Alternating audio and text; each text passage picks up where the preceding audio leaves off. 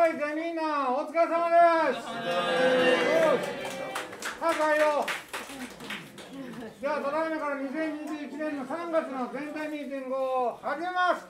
藤川さん、どうぞ。はい、皆さんこんにちは。今日は30分早くお集まりいただきましてありがとうございます。今日は2部構成で参ります。まず第1部はいつもの新谷さんから解禁賞誕生日お願いします。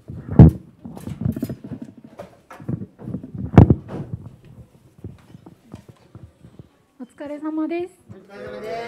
えっと2月の解禁賞を発表します。2月の解禁賞は45人おられました。すごいです。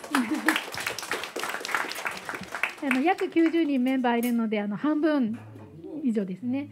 はい、名前を発表します。えっと本部から森山さん、ムーンヤ君、戸川君、えっとこれは横川さん、岡本さん、春日井さん、下山さん、松井さん、水江さん、土田さん、鎌田君、河本さん、小橋さん、小野さん、下森さん、石村さん、佐藤さん、黒田さん、これアトリエのメンバーです。でプラバンからは藤原さん、堀本君、宮本さん、中田さん、土橋さん、角野さん。で食堂から氏本さん、池澤君、柏木君。でコチャへの下川さん、柴田さん、奥田さん、枝さん、森さん、日笠さん。でカレーからは西崎さん、森本さん。焼きうどんは船引さん、小林さん、高知さん。でココ編み物は堀井さん、小野由衣さん、内山さん、高崎さん、畑中さん、鈴木さん、樋口さん。以上の方々でした。おめでとうございます。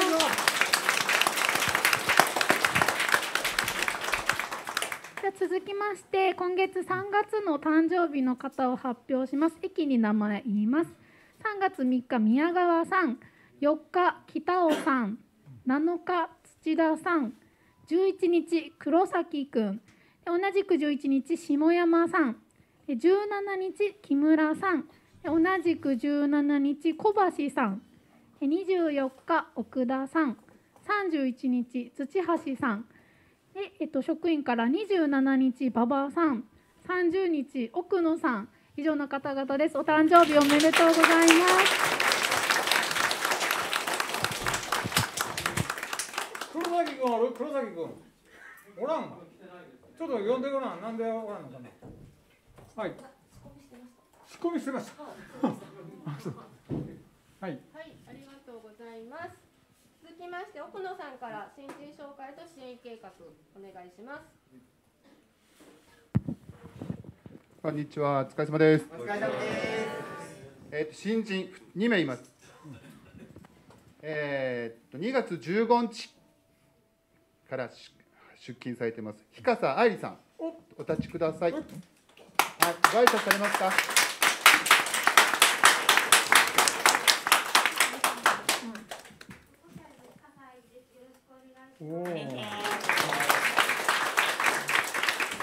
あと2月22日から土屋久夫さん、アートとコチャイでご起立ください。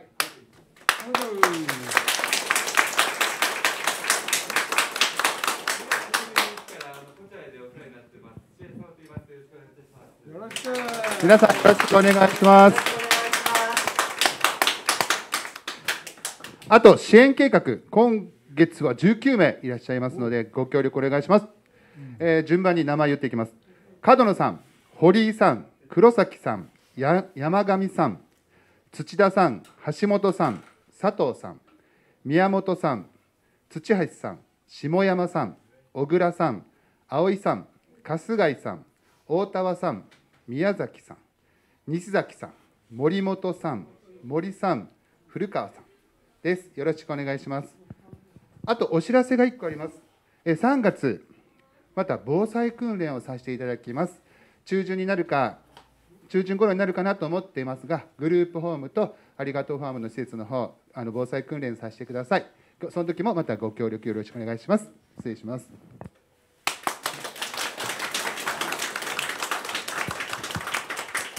みんなさ、午前中ず前に来て。でお客さんは動かなくていいから違う人にちょっと何人か椅子作ろうよしどう岡本さん後ろ座れになったオッケー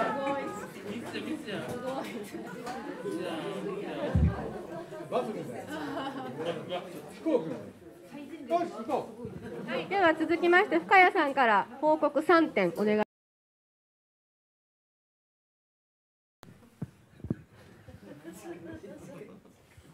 では、えー、と私から3点お知らせあります。えー、とまず一つは2月20日と21日にセネガルの布でずっとお世話になっているジャムタンさんの日傘受注会というのを、えー、とありがとうファームのカフェで行いました。多くの方がお客様来ていただいて今回計5本の日傘のオーダーをいただきました。えー、とうんうんうんあのコチャエでお世話になっている富士メンズ工房の方も来ていただいて、日傘を注文してくださいました。はい、今後ジャムタンさんとのコラボ商品作りを増やしていく予定にしております。関わっていただく人が増えると思いますので、その時はお仕事の協力をよろしくお願いします。はい、えー次 SDGs デザインゴールズというのが、えーもう何ヶ月か前からずっと行っておりました。えー、とありがとうファームからは藤原彩さんと松井沙織さんと伊藤志早君が出ました。で 3, 3人ともそれぞれ違う企業と一緒にコラボして、えー、と伊藤君の商品が今回商品化されることに決まりました、えー金属加工の谷川さんというところで、えーどんなものかというとキャンドルスタンドにもなるティーポットウォーマーです。伊藤君の絵がまあ、ちょっとあ藤川さんありがとうございます。はい、みんな見えますかね？すごく美しい作品に仕上がりました。伊藤君の描いた絵をデザイナーさんと企業の人であの商品にして、この中にキャンドルを入れて灯るというようなものです。はい、ですごく素敵です。で、3月6日にさあの商品の発売発表会というのをします。その時は伊藤君の原画の作品だけでなく参加してくれた藤原彩さんあと松井沙織さんの作品も展示されます、えっと、マスメディアが来て宣伝してくれると思います。えあと最後に一つお知らせです。3月3日の水曜日 RSK の、えー6時15分からの SDGs 関連のニュースでありがとうファームが放送されます、えー6時半からとのことです。えっと、ハブラボとココの取材もしてくれました。ハブラボは下村さんや土橋さんのあの生徒たちに教えているところここでは内山さんが答えてくれました。えっ、とぜひ皆さん見てください。私からは以上です。みんな SDGs が来てるよもうねマスコミはねみんなありがとうファームにね取材に来てるぞみんなのおかげだよね？ありがとうなよし次行こうはい、では新谷さんからテレワークセミナー報告と年間カレンダーについてお願いします。はい。えっと報告と連絡なんですが、テレワークセミナーについて、えっと2月16日あの社長の誕生日だった日に県の事業としてセルフセンターからの依頼で岡山県内の B 型事業所を対象にしたテレワークセミナーをさせていただきました。馬場さんと一緒に登壇して、その日は B 型の方が2名、相談支援事業所の方1名、県の職員さんも2名、セルプの方4名が参加してくださいました。ちなみに B 型の方は、えっと、そのうちの1人の事業所の方はすでにありがとうファームの資料をもとにテレワーク導入の準備を進めてくださっていました。で明日3月2日にも同じ内容でセミナーをさせていただく予定です。今度は県内の A 型にも声をかけているので、えっと、合計15名参加してくださるんですけどあのこれからもありがとうファームのようにテレワークを活用できる事業所が増えたらいいなと思ってます。で、えっと、年間スケジュールについてなんですけど今の年間出勤予定表今月3月の13日土曜日が実は仕事のような記載になってるんですね。みんなあの年間スケジュール表黒く塗りつぶしてあるところが、えっと、お休みだと思うんですけど13日黒く塗りつぶし忘れました。すみません、えっと、今月土日すべて休みになりますのでお気をつけください。ただしシフテシフト制の部署あのハブラボだったりとかイベントがある部署については各部署での指示に従ってください。そして、えっと、4月以降の予定も気になっている方いらっしゃると思うんですが、えっと、2021年度の予定表もできつつあります。すべて一月8日休みになってます。でパラフェスも今年も開催予定なので、えっと、10月を予定してるんですけどちょっと変則的な内容にはなっているところもあるんですが近くなったらまた各部署でも確認していくようにしてください。で配布は近日中、まあ、来週中とかにはあの各部署で配れたらなと思ってるので受け取ったら各々でも確認をよろしくお願いします。以上です。はい、ありがとうございました。では一部の最後、馬場さん、2点報告お願いします。はい、お疲れ様です。えっと、僕から2点報告させてください。えっと、まず一つがですね、えっと、倉敷のえー家を作っている工務店の健坊さんという会社と一緒に進めているプロジェクトがこの3月1日に完成しました。えーそれがですね、この誰一人取り残さない家のアイデアブック。これは、えっと、発達障害を持った子どもがいるご家族に向けたえー配慮がされた家を、えー最初から考えて、えー作っていこうというようなプロジェクトです。えっと、去年の10月からスタートしまして、えっと、いちごプラスの、えー職員の方だったり、えーありがとうファームからは、えー、水江ちゃん、えーかなっぺ、ロリちゃん、カイトから意見をもらって、であと、えーひまわりの会という、えー保護者の会の、まあ、お母さん方の声を聞いて50人の声をまとめて、えーガイドブックにしました。で合わせて山陽学園大学の上地玲子准教授という、えっと、障害児教育の権威の先生が監修についてくれて、えーこのガイドブック完成しました。これは3月1日今日から、えー無料で、えー配布予定の、えーガイドブックになってます、まあ、このガイドブックをもとに、えっとまあ、すごい家の中でこう悩んでるような子どもが少しでも救われたらなと、え思ってます。で別の企画でもまたみんなのえー声をえー聞かせてもらうことがあると思うのでまたご協力してください、えーよろしくお願いします。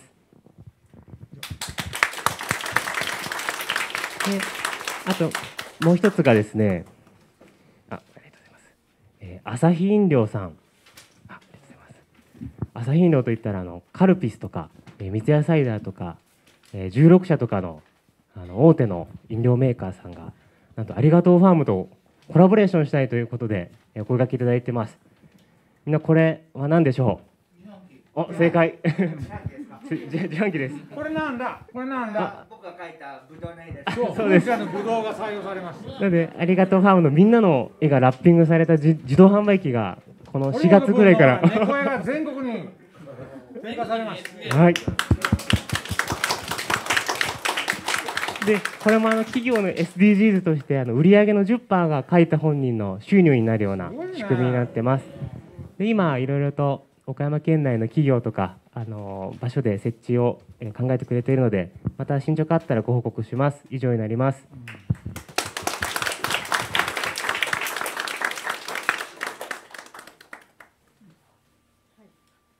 ではこれで一部を終了します。第二部ですが、社長から大切な話があると皆さん LINE アットで流れてきたと思います。何でしょうかね？ドキドキするような そのお話に移ります。では二部開始でお願いします。はいじゃあ1分間どんてんちょっとやりましょうでマネージャーここも座られ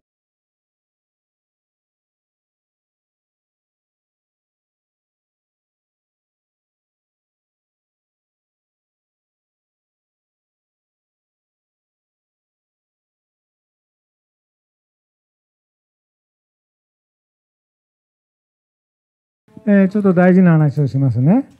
えまずテレワーク在宅で見てくれてる人、ありがとうね。え会いたいね。下森さん、鈴木さん、元気でやってますか？畑中さんとかね、宮園さんとか、なかなか会えてない。え20人ぐらいが在宅でね、されてる。樋口さんもね、元気になったらまた出てきてよ。でその人たちも含めてね、これからお話をします。あまず最初に言うとね、僕は2月の16日で60歳になりました。ありがとうございます。60歳は還暦ですね。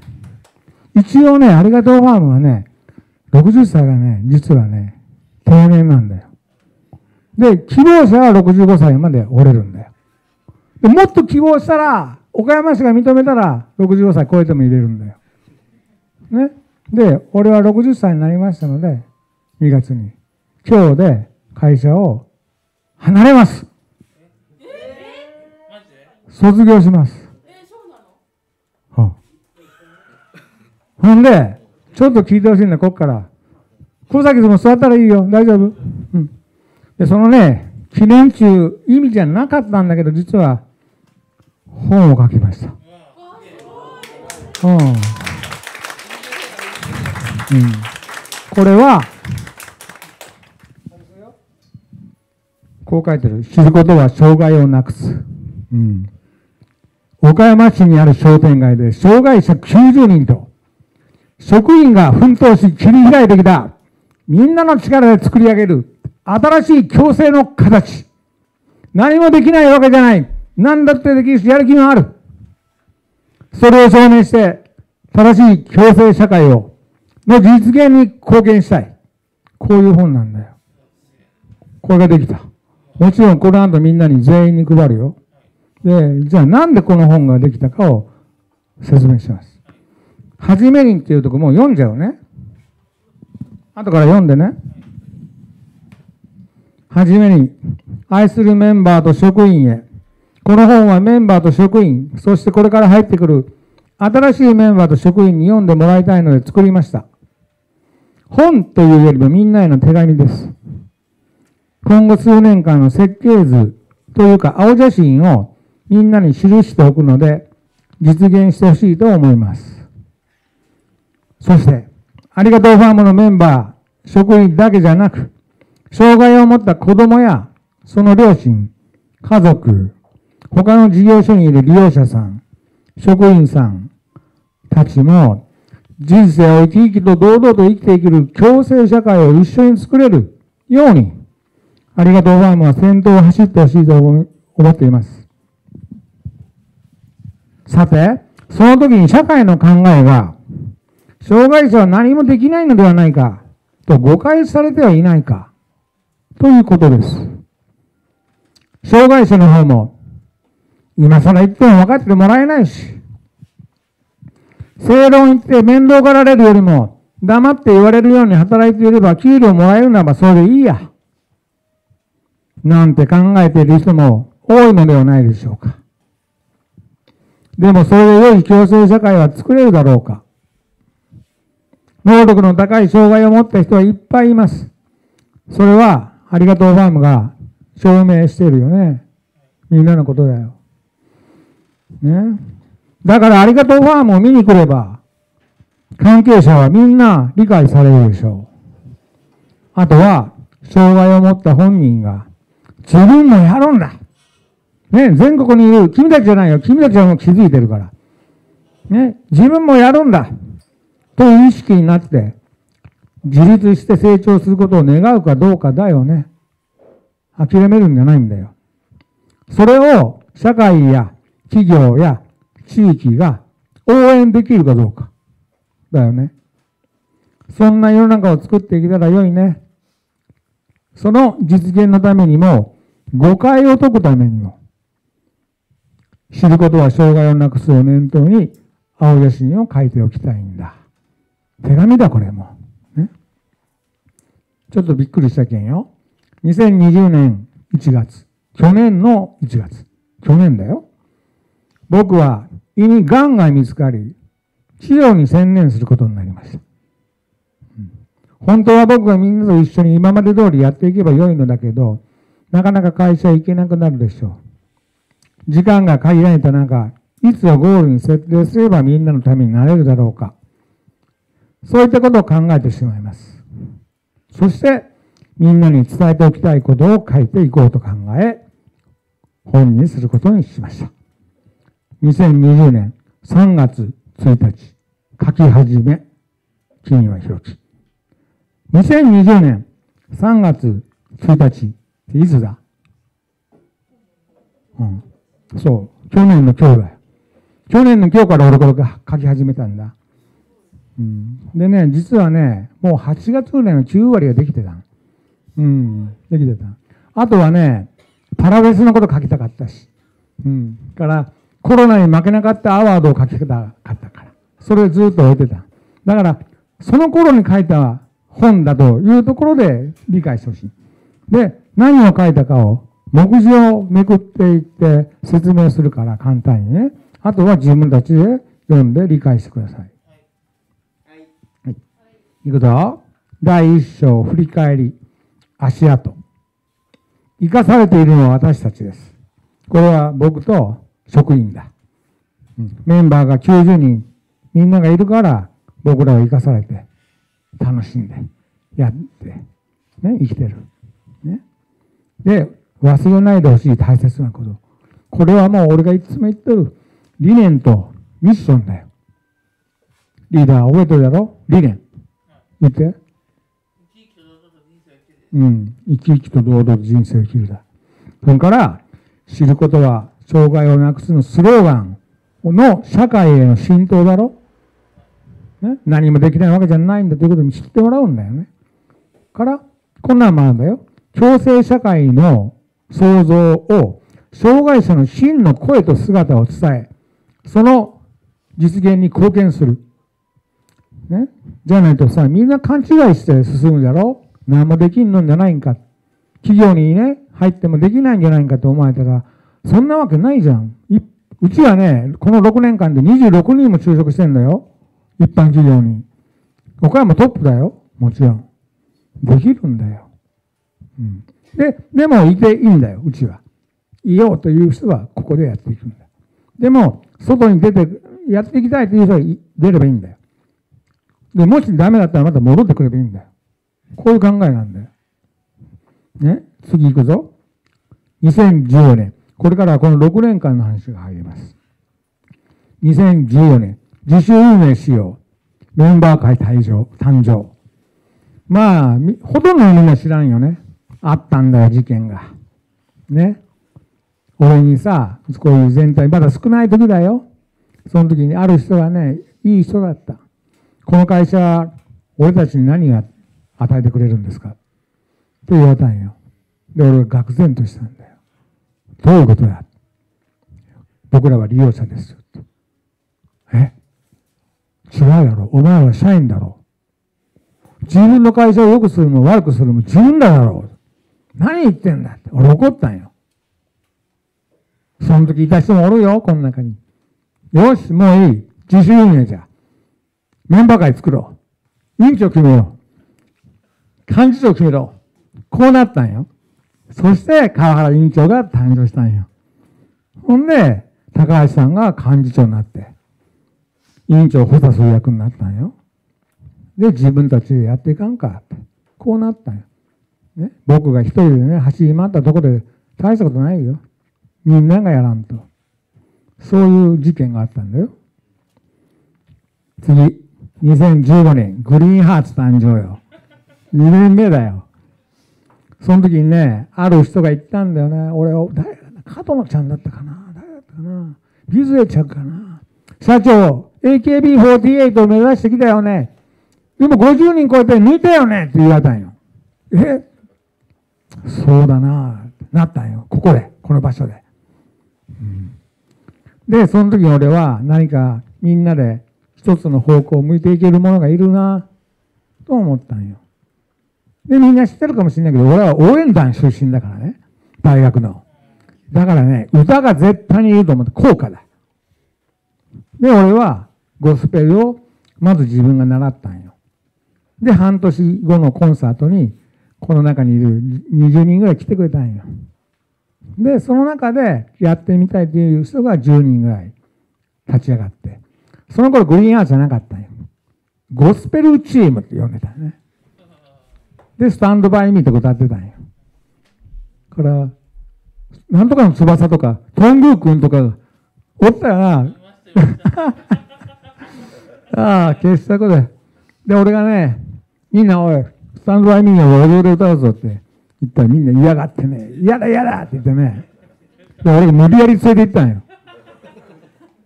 で、歌ったんよ。歌歌えたんよ。ほんでみんなね、あれ？やれるんだ。となって、グリーンハーツになっていったんよ。今では20人で。すごいよね。次だ。2016年、企業の社会貢献活動のパートナーになろう。今、レンタルアートみんなね、企業さんがやってくれとるが、馬場君がもういろんなところ持って行ってくれてね、提案してくれたんよ。でもね、最初俺こう言ったんよ。レンタルアートやろうよって。それね、アートチームがね、社長、絵が売れないのにレンタルなんてできるわけないかって言われたんよ。それも俺は月に1万円もらうんだって言ったら、バカなことをって言われたんよ。うん。え、どうよ今？何十枚が出ていってる？絵が。で、俺その時こう言ったんよ。みんなな、カミングアウトしてくれと。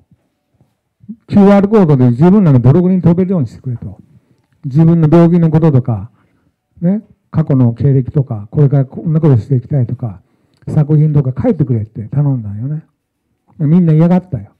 嫌だ嫌だ、やらない。みんな嫌がった。でもね、だんだんとね、分かってくれてね、いいよって、やるよと。今、どう？ホームページ見たらメンバーページ、ものすごいいっぱいあるが。ん？変わったんや、みんなは。この頃から。うん次、2017年。売るんではなく、教えるを仕事にしよう。これね、今ね、北海道にいた楠山さんだったかな俺にね、これも全体朝礼の時よ。社長って手を挙げてね、どうしたんって言ったら、私のブローチが売れません。なんででしょうって。こうなったんよ。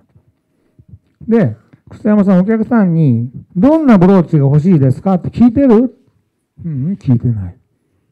私はケーキとかのね、デザインのブローチ作られててね、それを売ろうとばかりしてた。それじゃ売れないよと。お客さんが自分家の犬の絵をブローチにしてほしいとかさ、言えば売れるよって言ってたよね。ええって。でもね、草山さん、もっと言うとね、自分で作ってみませんか？私が指導しますよ。と言ったら、目の前に4、5人おばちゃん並べても十分できるよ。それが1500円で4人いたら6000円の売り上げ4倍になるんだよ。そっから教えるを仕事にしように変わっていったんよ。売るんじゃなくて。これが今のいちごプラスに行ってるアートを教えてるチームがあるでしょ歌も教えに行ってるでしょそういうで教える。で、これがアートパークにつながった。で、アートパークがハブラボにつながったんよ。ハブラボ今すごいわ、土日。いっぱい来てるが、感心するよ。これが岡山市の SDGs アワードで入賞したんだよ、ハブラボが。子供がだってみんな、お母さんと一緒に、この横に年間1000人来てんだよ。商店街で年間1000人も子供を集めてるとこなんかないよ。ありがとうファームだよ。ね、これが受賞したんだよ。でもね、俺ね、その時、あの、ハブラボは今ね、企業の廃材を使って、何作ろうから始めよう。自主性を重んじるような、ね、すごいのやってるのね。俺ね、やっぱりね、缶バッチ、缶バッチ屋さんとかさ、もう単純なのもあっていいと思ってるのね。うん。そしたらもっと来るよ。幼稚園の子とか。うん。自分の絵を缶バッチにしてあげるとかさ。うん。こういったことになったんよ。さあ、2018年、パラメッセージフェスはなぜ生まれて、何を変えたか。大事だよ。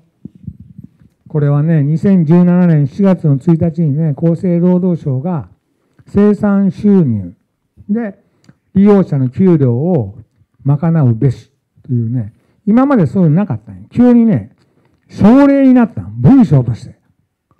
で、そんなことできてるとこなかったんよ。で、まあ、世間では7割はできてない。3割はできてるって言ってるけど、実はさ、5%もできてない。うん。できてない。今僕らもできてない。僕らはみんなの給料の今、だいたい4割しか稼げてない。まだ6割稼げてない。うん。ね。そういう風になったんよ。マスコミとかに叩かれたんよ。A 型事業所の利用者はお金にならない内職ばっかりやっているって、こうなったんよ。な、悩んだよな、俺らも。で、俺らはさ、愚痴も言わずに新聞をいつも切り抜いて、みんなで話し合ったよね。で、その時、戸川が、コインアーツの練習の最後にこう言ったんよ。社長、僕は怖いんだ。覚えてる？うん。僕らが何にもできないんじゃないかと思われていくのが怖いんだ。そこを俺に言ったんよ。で、俺は、じゃあお前、世間にそういったことはアピールできるんか？って言ったそしたらやりたいってなったで、グリーハーツにさ、みんなはどうなんだ？でみんなもさ、やりたい。で、パラフェスが生まれたんよ。パラフェスのあの時に思い出してごらん。第1回目の前半は、この A 型事業所の問題に対して自分はどう考えるかの4分間プレゼンテーションしたんで。うん、すごかったよ。で、後半が歌、子供たちも出てきて、やったんだよ。ね。で、あの時はさ、なんだ、自分もこんなことできるみたいなやったやろ。自分も歌が歌える、詩の朗読ができる、絵本を作った、マジックショーができる。こうやって趣味の世界だったろ。覚えてる？で、俺が終わっていったんだよね。でもみんな、このままでは、ね、ないものねだりの子供がだだこねてんと一緒になるぞ。うん。稼いでんのか？うん。稼いでない。でも、歌は歌える。社会人としてそれでいいんか？こういう厳しい現実を俺が突き詰めたんだよ。そっから生まれたんが、何だった？そうや。野球うどんよ。よし、やるか。もう、かけたよね。天満屋の地下のフードコートだぜ。あそこでさ、朝9時ぐらいから夜の7時半まで、年中無休で、俺らが野球うどん売るんだぞ。大変だったよね。でも、古市さんの、ぶっかけうどんの古市さんの協力が得て、ね、すごい売れたんよ。ものすごい売れたんだよ。そうだよ。売れすぎて出ていけって言われたんだよ。びっくりだろ、売れすぎて出ていけって言われる。なんでかって他のお客さんの客取っちゃう、ね、店舗のお客さん取っちゃったから。ね、出ていったね。で、オンタマになったんだよ。でもあの時何を感じた？やればできるんだ。じゃろう。給料みんな稼いだんや、あれで。で、自信がついた。で、ビーボだよ。あの、岡山市役所の地下。ビーボ。セントラルフーズと話してさ、あそこアートでブワーッと飾って喫茶店をやりだしたんよ。大変だったよね、あれは。あれ行った人もね。もういろんなお客さん来るからね。うん。で、俺らは別に障害者なんて、そんな歌ってるわけじゃないから、もう厳しいオーダーどんどん入るよ。うん。でも、頑張ったよ。うん。あれ撤退したのは俺らが悪いんじゃないんだよ。うん。あれはね、僕らがやってる喫茶店の部分をね、俺も提案してね、セントラルフーズさんにお返しして、食堂にした方がずっと売り上げが上がったから、うん、秋山社長、もうありがとうと。一回お返しするよ。で、こうなったんだよ。うん。みんなよくやってくれた。ね。それがパラフェスはなぜ生まれ、何を変えたか。やればできるんだという自信をになったんよ。そこが変わったんよ。じゃろう。ね。でね、この頃だったかな、委員長がいいこと言ったんよ。二足のわらじ作戦、やろう。アートやってる、プラバンやってる。それだけじゃダメだ。やっぱり、アートとプラバンって個人差はやっぱりできるから、なかなかみんなが稼げるって難しいじゃん。その時委員長が、少しでもみんなの役に立とうって言って、皿洗いに自ら入ったんだよね。うん。覚えてる？うん。そうやってみんながさ、委員長に触発されて、私もやります。って言ってくれたんで。だから会社がどんどん変わっていったんよ。ね、さあ、2019年面白かったな。夢を事業に。企画コンペ。賞金5万円。なあ？20アイデアが出たんだよ。自分の夢を事業に変えよう。あったのよ。で、プレゼンテーションしたがみんな前で。10社。ほんで登場したんだよ。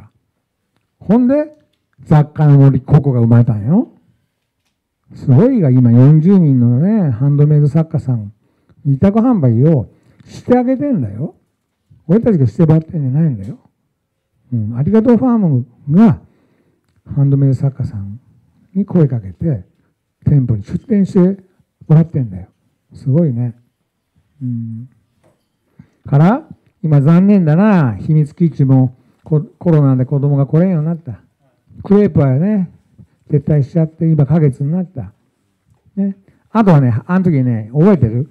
春丸さんがね、大人の漫画道場から漫画塾や2位になったでもね、今ね、もう春丸もね、俺と同じね、年だからね、ちょっと待ってよってなってでもいつかできたらね、素敵だよね。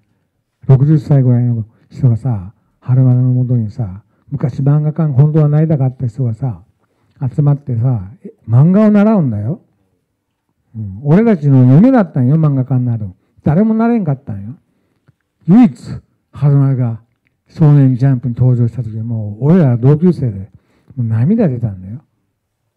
うん、感動してない。ねそれがね、2019年。で、2020年、去年じゃ。去年の1月、まだコロナがなかった。誰かのために役に立ちながら生きよう。僕たちの SDGs やったんよ。で、子供商店街考えたが、ね、世の中には貧困な人とか、虐待を受けて養護施設にいる人とか、一人親家庭で苦しんでる子供とか、いっぱいいるっていうことを俺たちは知ったよね。で、その人たちを呼んで、商店街の前でやろうよと。イベントを100人ぐらい呼んでさ。な。それがコロナでダメになった。それが5月だった。でね、7月はね、大雲寺のね、住職さんもね、うちでやったらいいよって言ってくれてた。あそこでね、俺の仲間がね、月山さんがね、カブトムシとかね、メダカとかね、用意してくれた。でもこれも中止になった。がっくりきたね。でもね、その時みんな何やった？缶バッジな。マスク作ったろう。400枚も。ベティ・スミスのデニムで400個。で、それをチャイティ・サンタさんの、ね、貧困家庭の人に送ったが、こんな手紙が来たよ。ありがとうございましたって。ね、涙出ましたって。そうやって僕らはいい社会を作っていく原動力になろうとしたやろ？そこにあるじゃん、ポスターが。誰一人取り残さない商店街になったらいいな。ね、猫が歩いてたり、委員長の 犬が歩いてたり、めっちゃおもろいやろ。ね？あ？ママイーツが来たの。うわ、嬉しいな。後で紹介しよう。うん。あママイーツさんとありがとうイーツ俺やったが、頑張ったが、それを俺がね、そのノウハウをね、パラママのね、藤井社長に、あの、お母、奥さんだよ、お母さん、教えたらね、今日から、駅前でね、ママイーツやってね、宅配やってんだよ。で、俺の朝から弁当を持ってきたんだよ。ちょっとみんな見てさ、ママイーツ立って拍手しよう、拍手。ねえ。嬉しいな、見に来てくれたんか。さあ、次行くぞ。次はね、コロナに負けずみんなで乗り越えた。乗り越えた、俺らな。うん。うん、全国の仲間はテレワークでコロナから救おう。去年の4月の17日だったかな、緊急事態宣言が岡山に出たんだよ。んで、えー、6割が、あ会社に来ない方がいいようになったんだよ。で、あの時に何人いたんだ？えっと、90人ぐらい、85人ぐらいいたんだよ。7割だ、7割。言われたんよ。で、60人が一気にテレワークになったんよ。こんなんできんよ。なんでできたかというと、もう5年前から20人ぐらいがテレワークやってたからだよ。で、テレワークなかったらどうなるかというと、みんなコロナが怖い。あの時さ、覚えてる天満屋で、ね、感染者が出て、みんなが怖がってさ、会社来ないとか言い出して、そんなんしたら給料もないんだよ。で会社も大変になるんだよ。会社も君らが来てくれてこそお金もらえるんだよ。うん、そしたら、潰れる会社いっぱい出るよ。多分、あ、出たよ。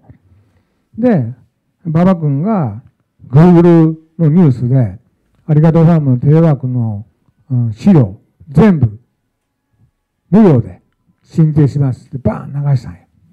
それ、もう一気に200社だ。1日でみんなが欲しいってバーンダウンロードしてね、それをみんな全国で使ってんのよ。いいことやってんのよ、だから。助けたんだよ。で、その仲間から今、編み物のアーティストは、え、あなたさ、埼玉？埼玉、大阪、東京、神奈川、うん。大阪もんな？あ、そうか。赤岩市。赤吉が手を挙げて、うちの編み物を一緒にやりたいってなったんよ。何やってるこれ。つまり全国の障害を持った編み物アーティストに仕事へ行くんだよ、これ。すごいことやろでね、第2章、ありがとうファームの考え方。障害者アートについて。これも読んでくれたらわかる。うん僕、何書いてるかというと、僕はね、あんまりデザイナーがね、君らのアートをね、なんだろう、うん、素材だけに使ってね、でデザイナーのデザインになっちゃうことがよくあるそれは俺はあまり好きじゃない。という、ありのままを見せてやってほしいと。これが俺の考え方ね。次。一般就労も応援するよ。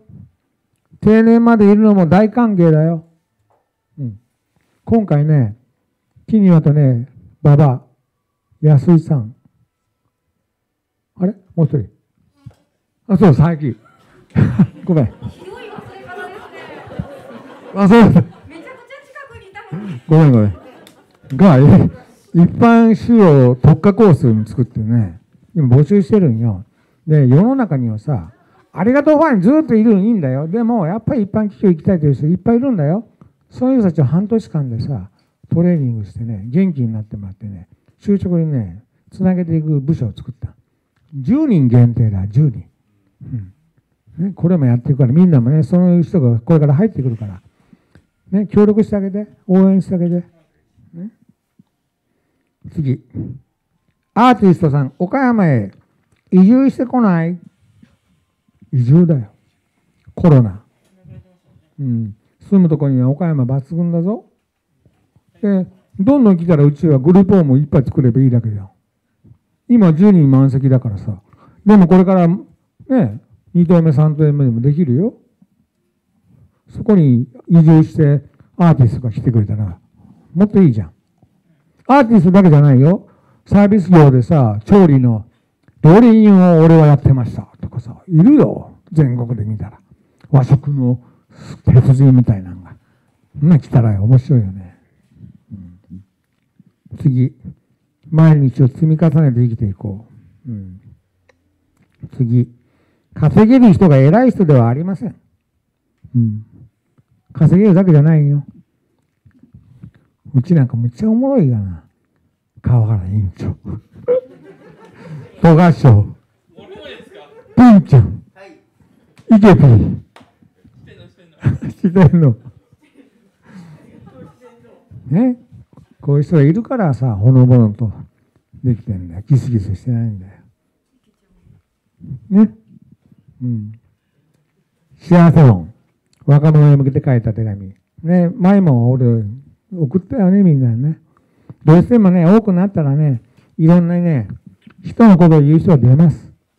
うん、ストレスがあったりね、人の悪口も言う。でもね、結局はさ、みんな、みんな、同じ船に乗ってるんだよ。クルーだぜ。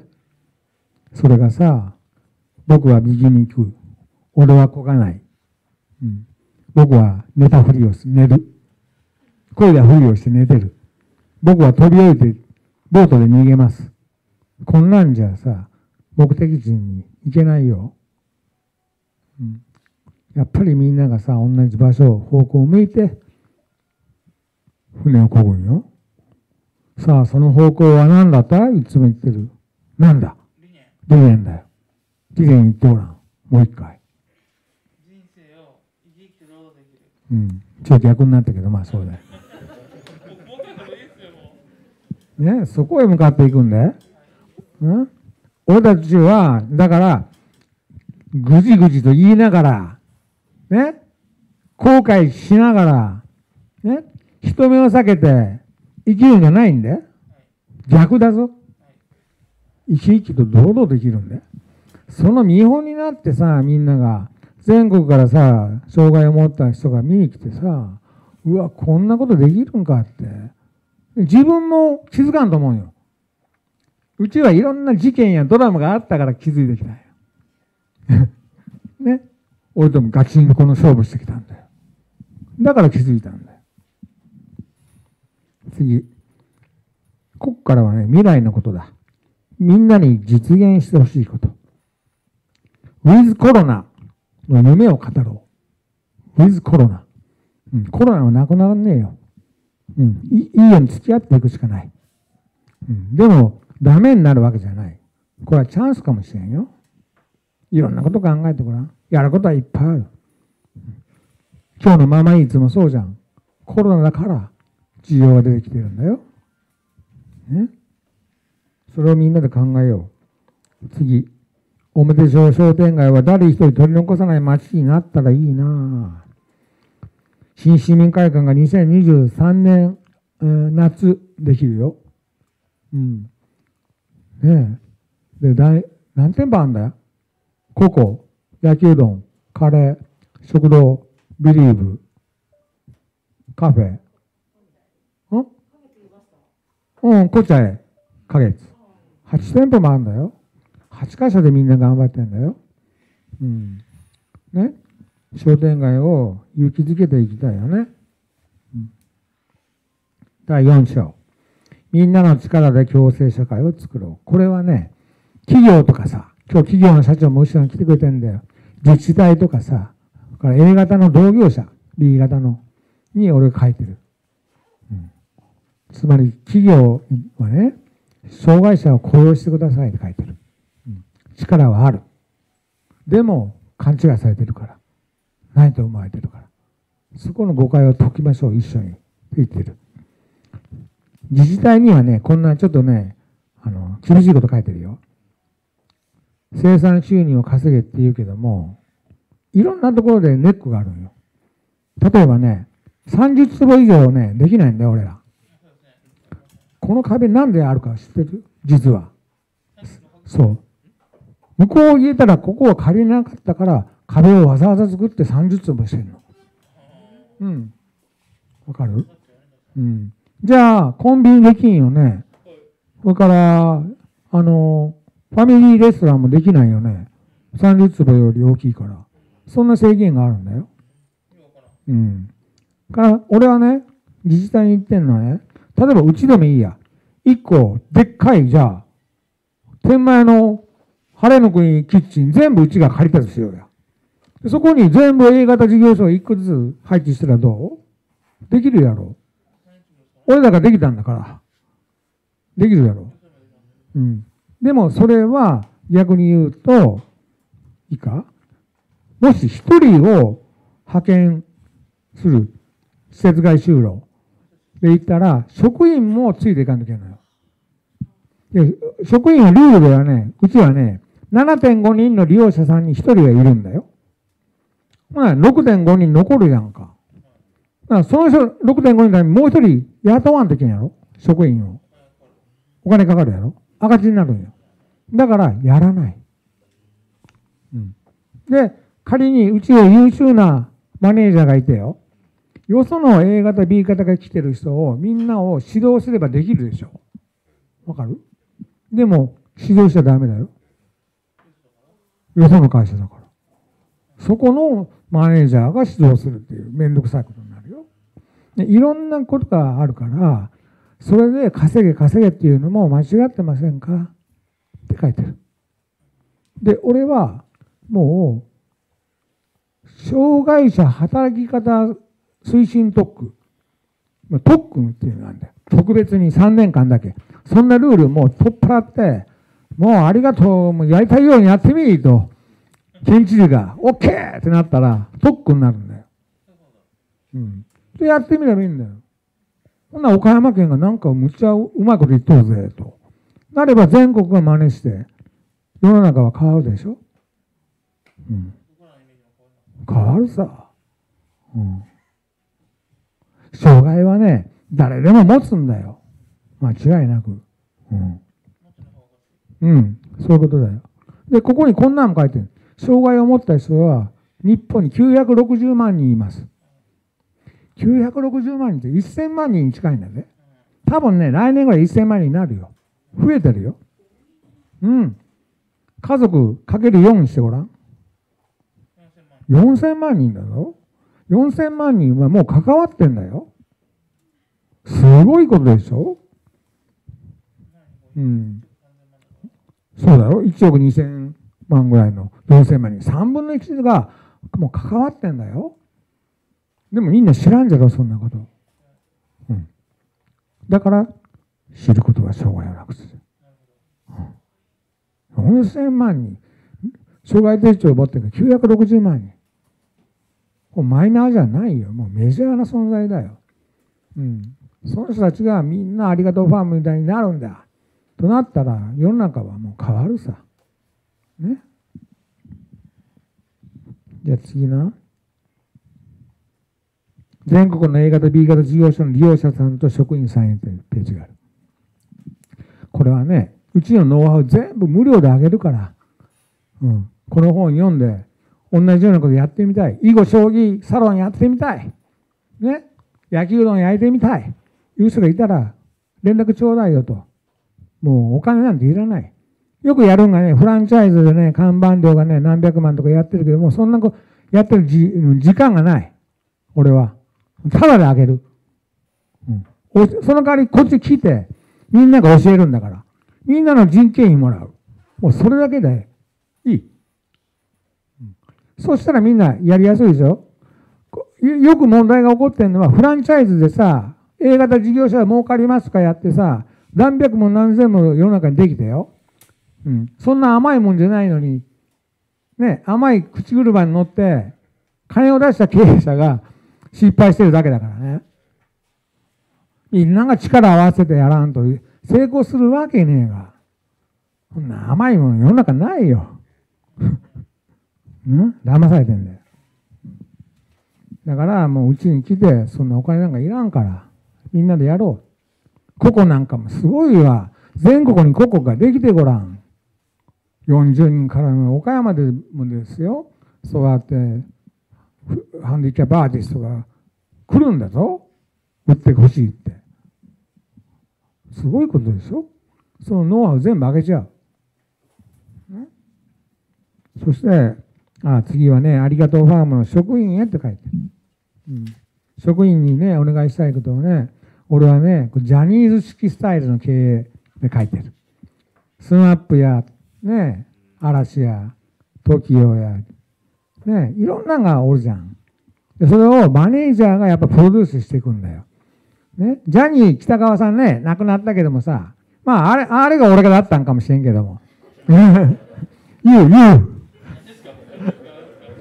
言う、どうなってんの？ね。でもやっぱマネージャーだよ。だからマネージャーの夢も大事なんよ。俺からしたら。うん。で、そのマネージャーが好きでさ、この人と一緒に働きたいってメンバーが思うんだよ。逆もあるよ。メンバーがやりたい。マネージャーが、あ、それやろうよ。もある。で、自分の好きなことを仕事にするんだよ。これが一番成功するんだよ。ね。これがジャニーズ式スタイル。からね、最後はね、愛するメンバーへと書いてるよ。これはまで読んでちょうだい。うん、で、最後にね、なぜありがとうファームは誕生したのか書いてる。これはね、俺のね、小学校の頃から書いてる。これね、よくね、マスコミが俺に取材で来るけれども、俺絶対受けないよ。一回も出たことないでしょ？新聞に。ね出てたたたまに歌ってるの勝手に捉えてるだけだよ。なそうかな。うん、分かった。ほんでね、よくね、マスコミみたいなあの記者がね、なんでこれ作ったんですかってよく言われる。うん、でもね、そこでさ、簡単に答えられるような理由じゃない。もう、それは読んでもらわんとわからん。なぜか。うんただ俺は、運命的にこれを作った。導かれた。だけど言っとこう。52歳ぐらいの時に、野上君と出会って、今いない野上君と出会って、金さん、世の中には A 型事業所っていうのがあるんだよって教えてくれて、あいつがいて農園に見に行って、昼寝ばっかりしてて、あいつ。そうなんか、障害持ってても給料もらいながらこんな働ける場所があるんか。日本ってすげえな。日本の制度ってすげえな。と俺感心したんよ。うんで、まあやったんだけど。でもなんでそこに行き着いたかは、ね、単純じゃないよ。例えばみんなも知ってる俺の長男がさ、障害を持ってるよ。障害も、その長男がいるからこれしたんじゃないよ。全然。ただ今思うと、あの長男はこれをやるために生まれたわ。俺に背中を押した押したんは、その長男の障害だ。でもあの子がいるからしたんじゃない。そういうのがこう、ちゃんと書いてる。ぜひ読んでほしい。でね、最後の最後だよ。最後の最後にこんなこと書いてます。これ手紙だな、もいくぞ。ああ、本当にありがとうファームを作ってよかったな。改めて、すごいところだと感じる。ここには、一人一人が居場所を作り、生きよう。幸せになろう。というエネルギーが溢れている。だから世の中から消えることはないんだろうね。僕にはわかる。メンバーと職員、応援してくれるお客様や企業や団体、地域の皆さんの温かい気持ちが、キラキラと光のように集結してくるのが見えるよ。あとはみんなに任せたよ。ありがとうファームよ。永遠に光り輝き。みんなありがとう。楽しい人生だったよ。2021年3月1日。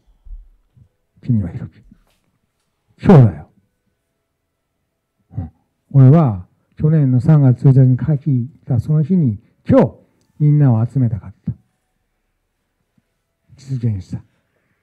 ね。で、ラストだ次は。いい？ちょっとね、深刻になっちゃダメだよ。僕はまだ生きている。何をなすために生かされたのかと考えてしまう。去年だ。2020年1月、スキルス胃がん、ステージ4、大腸に2箇所転移。1年半後の生存率は50%。3年後は8%と言われたんだ。僕は自分で余命のゴールを最大2年と決めました。2年と決めたんだ。そしてすぐに準備に入った。僕がいなくてもありがとうファームが平和で永続できる仕組みを幹部社員と真剣に考え始めた。去年の3月、4月から。うん俺がいなくてもできる。ね。そしてこの本、つまり6年間の振り返りと今後の青写真に着手し、1年後の今日、今日だよ。みんなに渡して僕は卒業しようと計画しました。うんこのページは秋に書いた。で、ここが大事なんだよ。でもね、みんなといると毎日が楽しくてね、抗がん剤の副作用って確かに苦しいけど、楽しい方が大きかった。明るくいつも笑っていたら、奇跡がいくつか起きたんだ。治療開始7ヶ月で、大腸へ転移していた2つの癌が消えたんだ。すごいやろ。ありがとう。うん。さらに体の中に米粒くらいの癌が散らばっていたんだ。それもとっても小さくなった。うんで、今だってことで、原因の胃を10月7日に全摘出した。胃がないんよ、俺。10月7日に切ったんよ。うん。こういう大きな癌はなくなったんだよ。岡山大学病院消化管外科の藤原教授、香川准教授、黒田執刀医、ありがとうございました。これね、俺が入院ね、14時間ぐらいしてね、出てきたらね、高橋さんがね、社長あんた、海外旅行取ったんじゃろって。覚えてる？何人か言われて、県外取っとったんじゃろコロナなっとったらあれなんで、来ないでくださいとか言われたらね、結構辛かったね。だから、もうすぐ死ぬことはなくなったんよ。でもあのま、あれ、この奇跡がなかったら、多分6月ぐらいが1年半なんだよ。この6月が。そこでは100人のうち50人がもう死んでたんだよ。もうそれはないよ、俺。もしかしたら100まで生きるかもしれんよ。ありがとう。みんなのおかげで命を伸ばすことができたよ。ありがとうファームには間違いなく不思議なパワーがあると感じた。だから残りの時間を大事に何かに使いたいと思っているんだ。みんなはもう僕がありがとうファームを離れても自分たちでマネージャーと共に理念通りに生き生きと堂々と歩いていけるよね。だから僕は当初の計画通り今日でありがとうファームを卒業します。でもね、金曜日には来ちゃうから。グリーンアーツの練習だけ来るから。ね？ね？うん。でもね、いい？これはね、うん。まあ、前半だな、去年のね。死を意識しながら、残された時間の中、みんなとの一つ一つの出来事を心に焼き付けたい。と願いながら毎日を大事に過ごしたよ。うん、その頃はね、ああ、あと一年か。と思いながら毎日来てたよ。でみんなと会ってると本当おもろくてね、笑ってたよ。ねでも、コロナで多くのプロジェクトが中止になったよね。ああ、またか。とがっくりきてね、涙が流れた。俺ね、60まで泣いたことなかったんだよ。泣いたよ、でも。子供商店街できなくて。もう最後パラフェスもできないんか思ったらね、その時はね、辛かった8月頃かな。もうパラ最後のパラフェスになるか思ってたのに、パラフェスもできない俺か。情けねえな。と思った。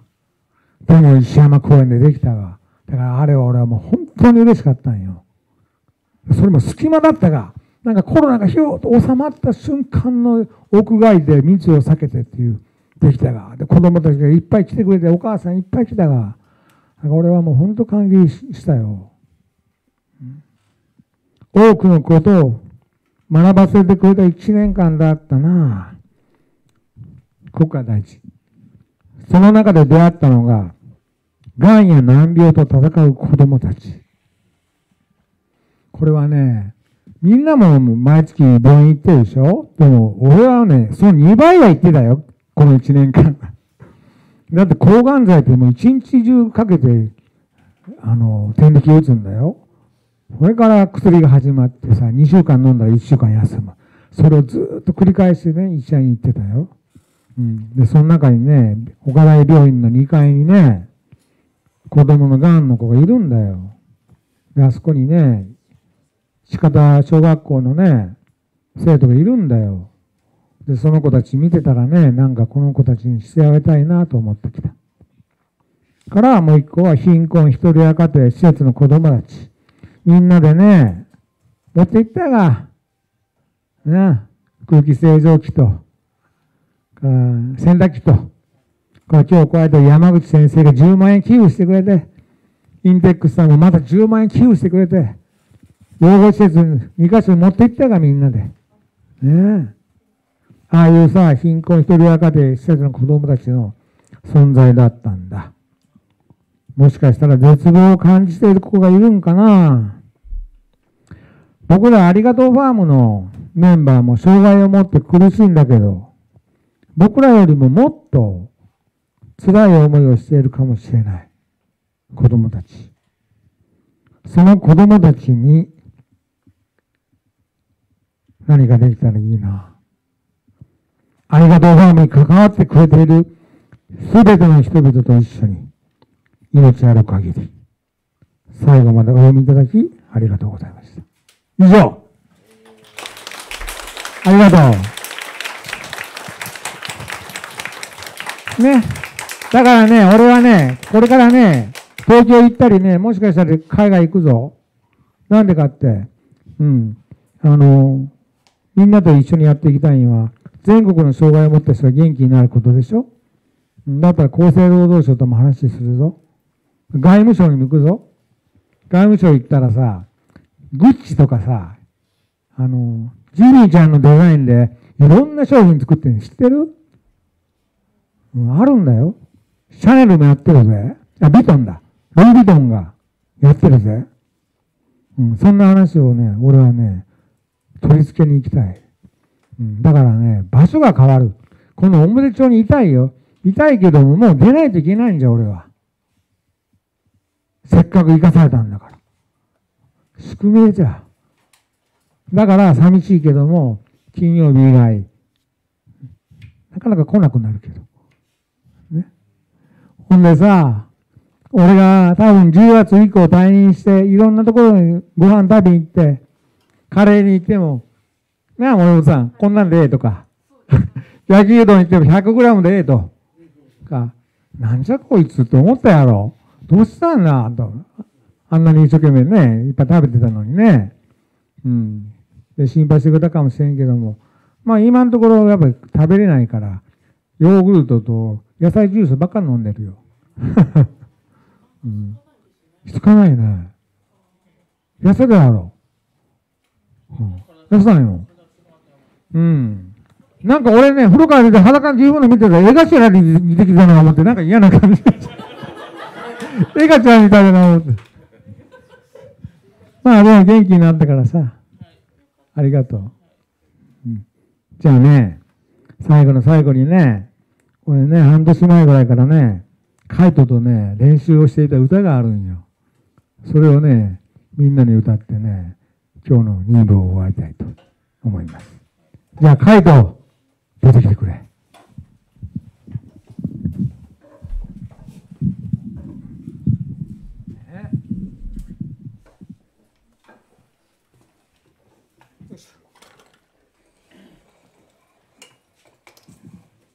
じゃあ委員長なんか一言代表してもらおうか。どうかな。委員長がいい？いげちゃんが言う？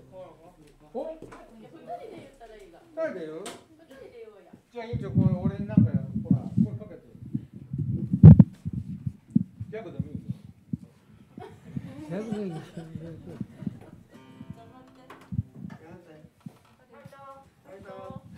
ここここまで教えてくれたあの社長さんに敬意を申し申し上げます。長い間ありがとうございました。ありがとうございまし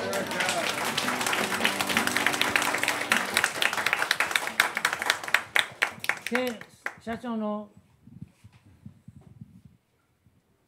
経歴を見たような感じがします。皆さん、こんな社長大好きです。大好きですか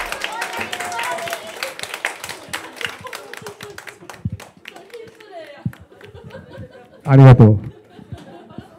じゃあ歌いますよ。こんな社長だけど。カイト出るか音。いくよ。待てよ。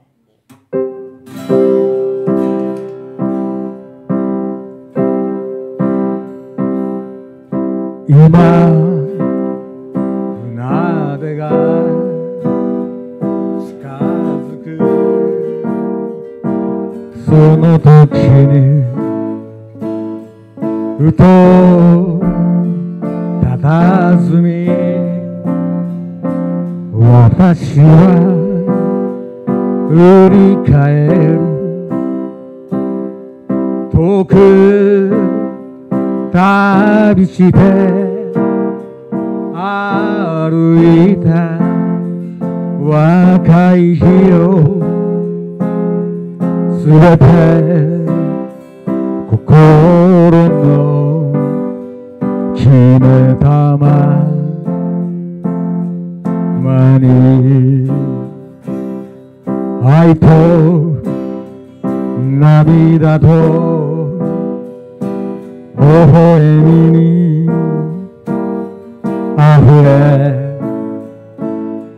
今思えば楽しい思い出を君に告げよ迷わずに。行くこと君の心の決めたままに私には愛する。みんながいるから信じたこの道を私は聞いただけ。すべては心の決めたままに愛と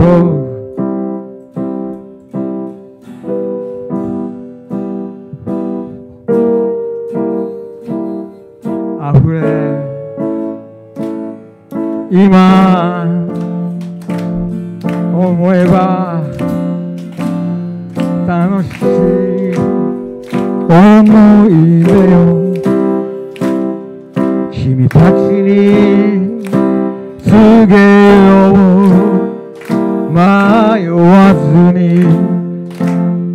くこと。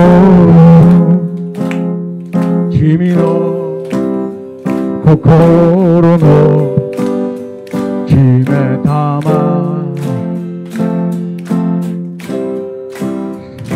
私には愛する。みんながいるから信じた。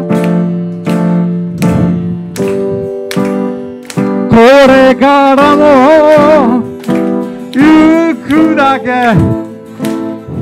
すべてはみんなと決めたまま。に